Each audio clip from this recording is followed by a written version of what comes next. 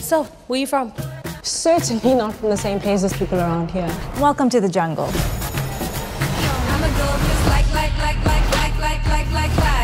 This is stunning. What are you up to tonight? Yeah, skip train. My friends don't even know the real me. I would Fikile had a fresh start. The only way to hustle is to spit it on the beat.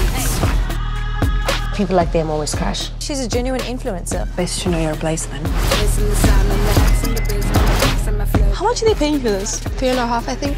Thousand? What if these people are dodgy? Rich people can't be dodgy. I'm a girl just like, like, like, like, like, like, like, like, like. Like what? like, I don't give a Is it always this hectic? Pretty much. drama hear me holla. Uh.